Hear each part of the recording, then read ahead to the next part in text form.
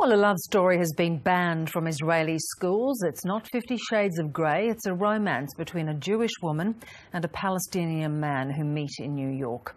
And it was removed by the right-wing government to avoid encouraging mixed relationships and has sparked debate about censorship. In an area where division is part of daily life, Jews and Arabs are showing love has no boundaries. These Tel Aviv liberals, friends, couples and strangers are locking lips, coming together for a passionate embrace to say they refuse to be enemies. It's a play on the Stranger's First Kiss ad that went viral. And it's in protest to the Israeli Ministry of Education banning the book Border Life from Israel's high school curriculum. As a storyteller, I perceive undercurrents which are within the daily Israeli existence, and my instincts are those of a storyteller.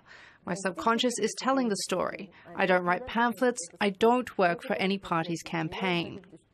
The decision was made over concerns the narrative would entice intermarriage between Jews and non Jews, considered a threat to the Jewish way of life. The controversy has resulted in the Romeo and Juliet love story flying off the shelves. It was an expression of confidence in the Israeli democracy and refusing the idea that books will be banned. It transferred from a literary discussion into a civil debate.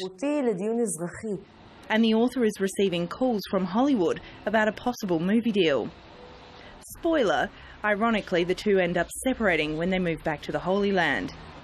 The Time Out protest video has received more than 300,000 views online.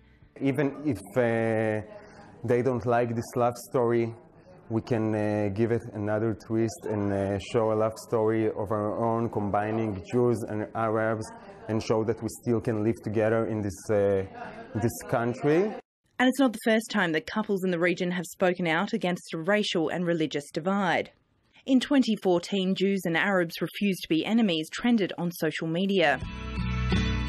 But will there be a happy ending to this love story? For now, it appears the Israeli government won't be backing down. Stephanie Bolchi, ABC News.